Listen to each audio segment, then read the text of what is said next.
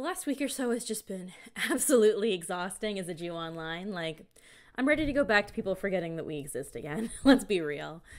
Um, and as if we didn't have enough to deal with, it's just kept going. Like, we thought, okay, we'll make a video last week, but um, the news just kept coming. So, this is as far as I was willing to wait. It, this is going to be a negative vibrations video. Like, I'm sorry. This is going to be, th- there are no positive vibes to be found here.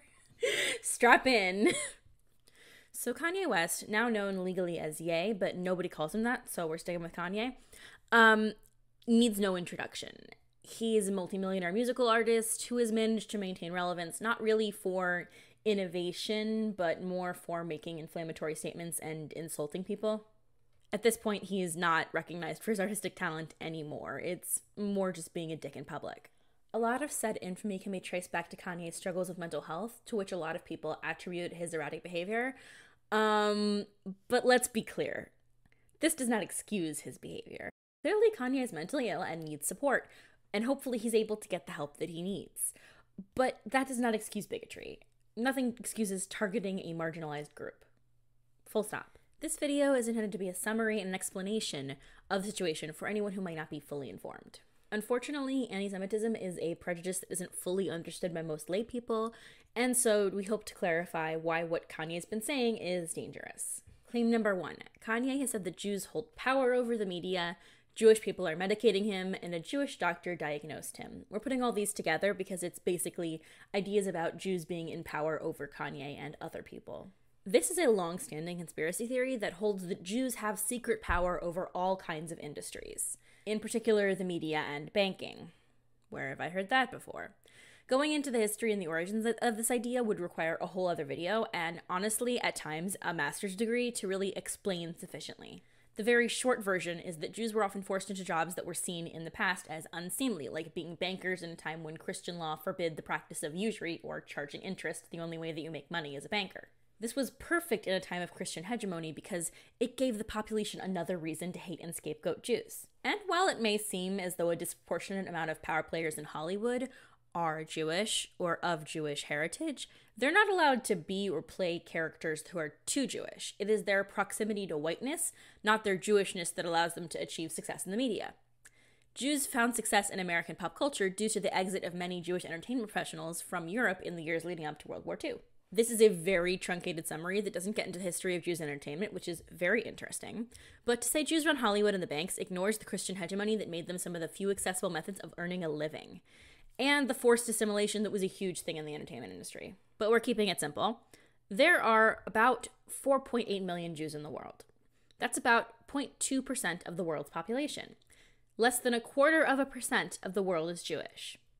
Kanye West has 31.7 million followers on twitter.com. Yes, there are a number of powerful Jews in the world, but when compared to the number of powerful Christians, that number is statistically insignificant. And when anyone says there are Jews in positions of power controlling people, that tends to rub more normie Jews like me the wrong way. But many people believe the conspiracy theories and claims that Jews are secretly running the world and are to blame for any number of world events. And these claims have resulted in a lot of dead Jews. People have been killed over this conspiracy theory. If you're unaware, let me be the first to inform you of the Jewish puppet master theory, which is a cornerstone of white supremacy. It's the idea that people of color are all being used by smart, wily Jews to achieve our secret goals. These are white supremacist beliefs that have leaked into communities of color, in particular the black community, as a way to sow division between black people and Jews who have worked together to fight white supremacy successfully in the past. Claim 2. Black people are the real Jews, the 12 tribes, the 12 lost tribes of Judah, the blood of Christ, who people known as the as the race black really are. That was a direct quote. I'm sorry about the grammar. This is just factually untrue. There are black Jews, which people seem to forget a lot in this dialogue, but not all black people are Jewish, and not all of them originate in the 12 tribes of Israel. There are legends of a few of the 12 tribes of Israel lost in parts of Asia and India, and there are groups like the Kaifeng Jews, a small community of Jews native to China, who for several centuries managed to retain their Jewish identity in some form despite being cut off from the wider Jewish community, but were mainly assimilated into the Han Chinese community. However, they are a vanishingly small community that numbers between 600 and 1,000 people. There is also a conspiracy theory that the majority of Jews today are descendants of European converse Judaism and therefore not actual Jews. While most Jews probably have converts in their ancestry, this claim is pretty much baseless.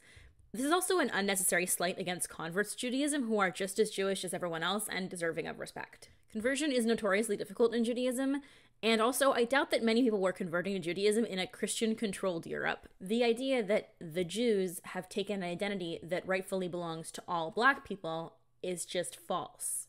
This is a myth that is in the modern day perpetuated by the Black Hebrew Israelites, a movement that many considered to be anti Semitic, just not in practice, but by definition. They are not Jewish. Their church was founded in 1896, and there are now dozens of BHI organizations. Their practices usually combine Christianity and Judaism in some way, similar to Messianic Jews. Messianic Jews, by the way, also Christians, but we've discussed this.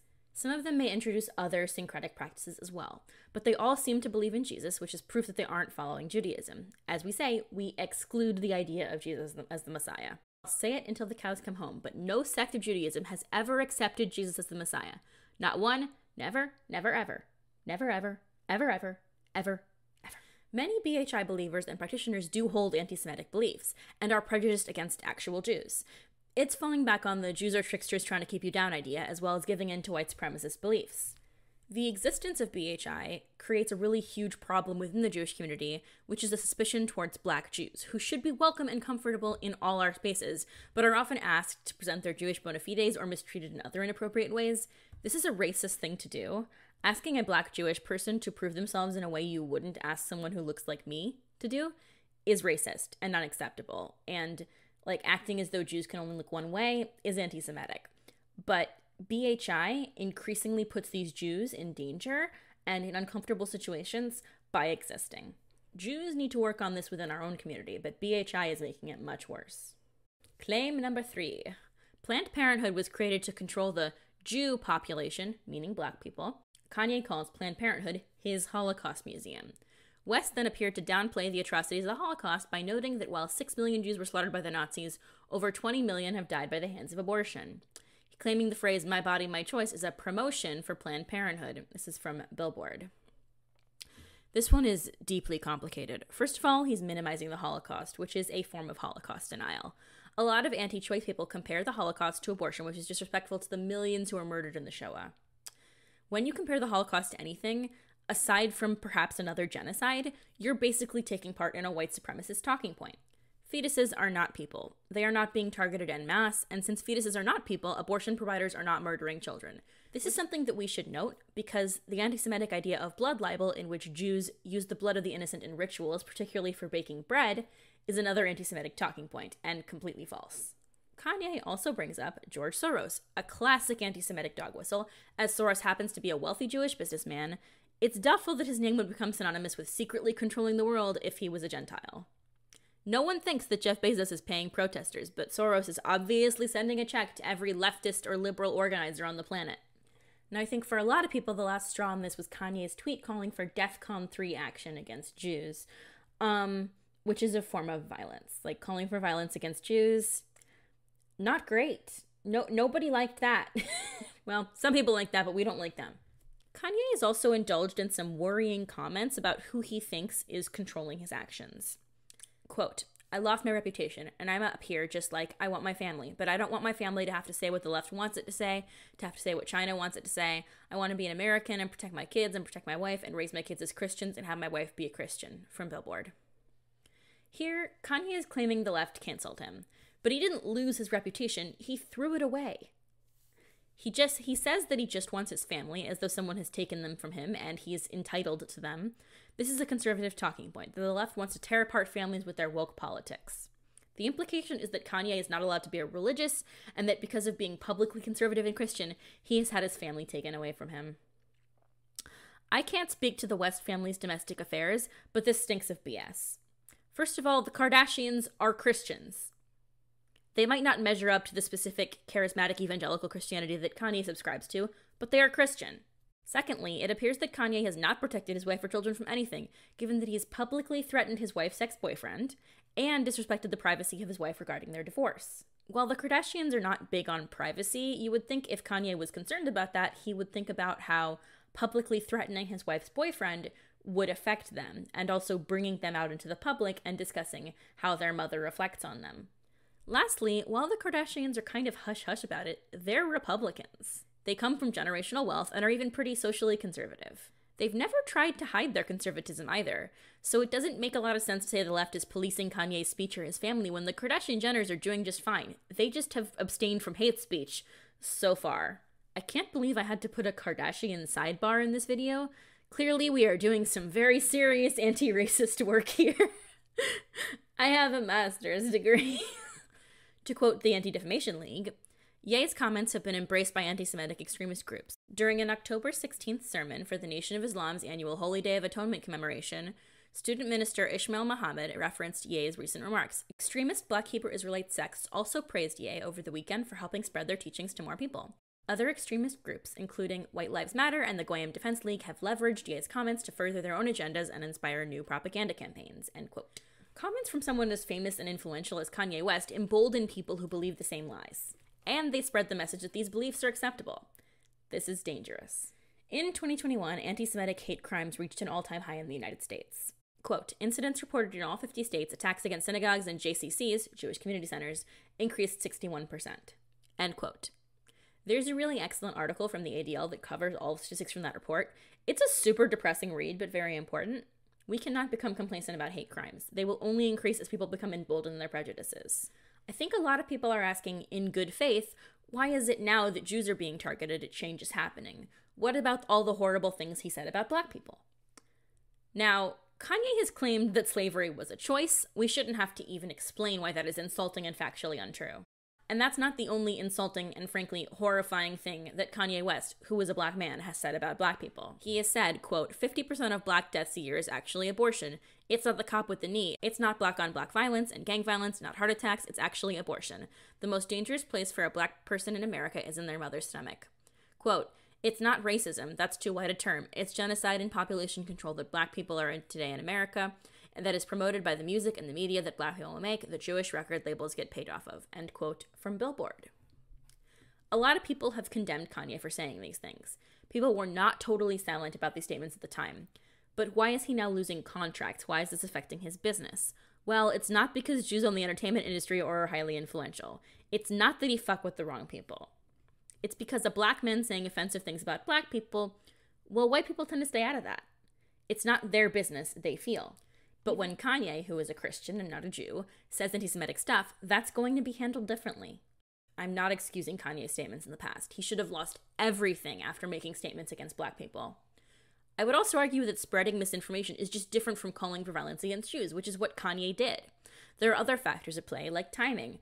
I think for a lot of people, Kanye going DEFCON 3, as he put it, was the final straw. What really breaks my heart about this, because I was never a Kanye stan, is that this will endanger Jews most of all, and particularly Jews of color. Jewish people of color are already subject to extreme racism and suspicion within our communities, and the last thing they need is to be targeted by extremists outside our community or from fear within it. Jews are such a small fraction of the population, and as a minority group, we need to stand together and stand in solidarity with other minority groups. There is a long history of Jewish and Black solidarity, and I am thankful to all the non Jewish black people I have seen spreading information about anti Semitism. You guys are my heroes. I think a lot of Jews are really afraid right now, and I cannot express how touching it is to see people of all races, creeds, and religions condemning anti Semitism and committing to solidarity with Jews. We see you, we thank you. It really does make me feel as though we're moving toward a more just and peaceful world. If you want to read some really amazing and detailed reporting, we've cited all of our sources in the description, and I highly recommend the ADL article, which is updated with all the most recent information about Kanye's statements. Thank you for watching. I really hope this video does convey to people how serious this is because obviously, while racism is wrong always, when it becomes dangerous is when racism emboldens people to make decisions that will end or hurt other people's lives. Jews have often become endangered by the things people say and think about us, and it's never the end. Uh, there are some people who have said that we've become too complacent in America, and I think that's true. Because there are some Jews in positions of power in the government, we feel as though perhaps everything is going to be okay. Um, and I don't know that it will be if, if we don't make sure that it will be. We have to all stand up and say this is not acceptable, and we all have to condemn people who say things like this. Like, Kanye is just the beginning. Look at who what your local representatives are saying about Jews. Look at what your local representatives are not saying about Jews. Sometimes the call is coming from inside the house. Thank you so much for watching. I really appreciate it. If you think this video could be helpful to someone, please share. I don't want to be hostile to anybody who might not understand. I want this video to be able to explain to people something that might be new to them. And I want people to understand that they don't have to know everything. Like, anti Semitism is a prejudice that a lot of people are not as familiar with they should be. Um, and they think it's very one dimensional when in fact it has a thousands of year long history and we need to educate people on it. So, thank you so much again. Bye bye.